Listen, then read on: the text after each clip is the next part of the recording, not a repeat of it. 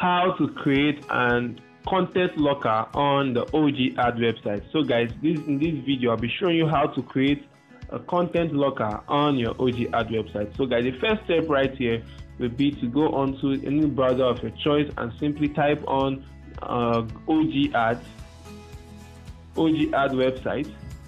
Then once I click on that, a page such as this should load up and I'm just going to click on this first option right here which is Uh, the ogads.com and I'm just going to wait for that to load.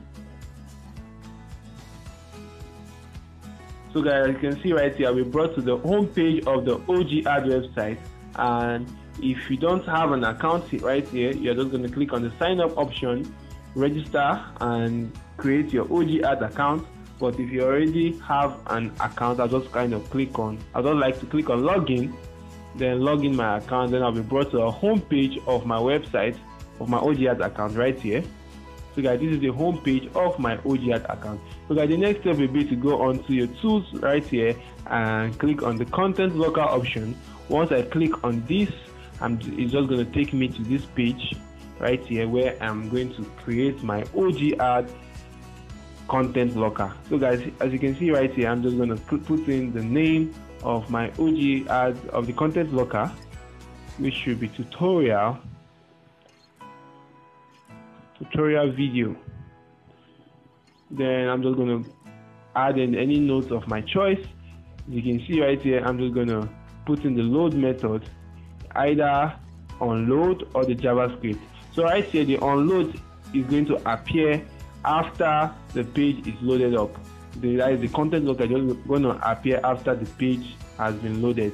While the Java for the JavaScript, the content locker appears when the JavaScript function is called. So as you can see right here, this is the delay option which indicates the number of seconds to delay before showing up the locker. As you can see, zero seconds here does not actually indicate zero seconds here does not actually um, input a delay to um, when your content locker is going to pop up on going to the website. As you can see right here, this is the action, the unlock action, the redirect URL. If you are using a URL, a redirect URL, so you just leave it on this um, redirect here.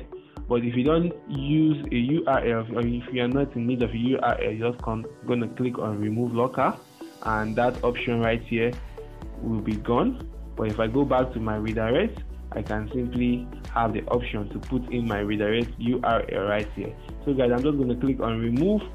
Simply scroll up and go on to the advanced section. You can see the advanced section here. The first option right here is the conversation required. That is the number of conversation required to unlock the locker. I'm just going to leave this on one. The prayer threshold, I'm just going to leave that and go on to the access time. That is the amount of time the locker will be unlocked for. So as you can see right here, it's on 60 minutes. You can simply increase your time or reduce your time. So you're going to fill that based on your preference. Then I'm going to go on to the desktop specific. That is for desktop users. When they use your content locker, this is for the desktop users. How it's going to appear to them. You can simply come here, change the theme for your desktop users can simply change the theme to any one of your choice. You can see right here the preview page, the theme has been changed. You can simply go back here, change it again to the Facebook theme, and just wait for it to load. As you can see, the the preview here shows me how the content locker is going to look like.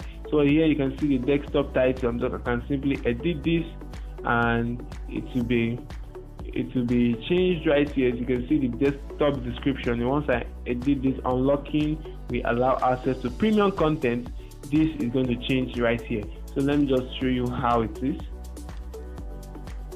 Um, let me just simply put this to unlock now or something else. Unlock now then i'm just simply going to wait as it's there now I'm just gonna just gonna preview this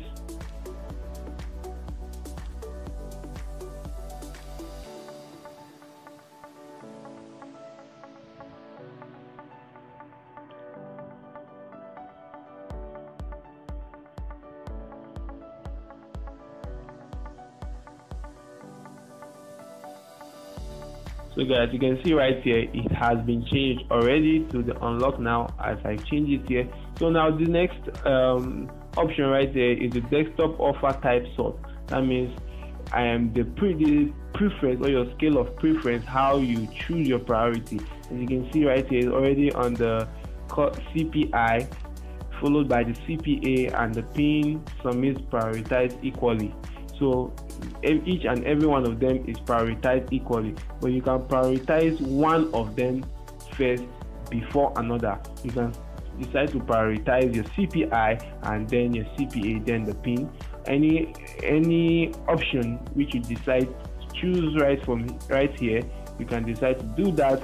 Then go on to your maximum offers. You can simply increase this or reduce this. So i'm just going to reduce this to four and it's going to change right here on my preview page once I reduce, as you can see right here, it has been reduced.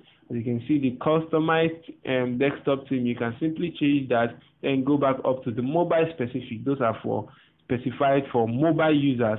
You can change the theme as you did in the desktop specific, the mobile type to the mobile description, mobile offer type sort, how you intend on prioritizing your your stuff right here, then the maximum offers and your theme then once you are done, guys, you can just simply click on create a locker and eh, create locker. And once you click on that, I think your locker will be automatically created and you can access it right from your home page by going by going on to your tools and the content lockers then you can be able to see your locker. So that, that is it for this video. That's how to create a content locker on the OG Ads website. So guys, if this video is actually helpful to you, don't forget to smash the like button to this video, subscribe to this channel, and also ensure your post notification is always turned on all. So thank you guys for watching this video, and goodbye.